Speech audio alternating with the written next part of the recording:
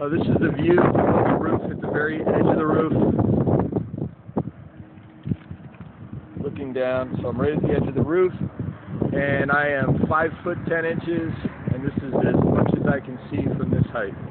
I'm holding this eye level so that you can see, maybe a little bit higher, but that would be the extent of it. I'm holding you up at about six feet one inches right now.